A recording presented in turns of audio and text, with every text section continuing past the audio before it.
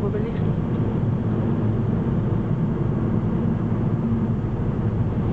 Ja.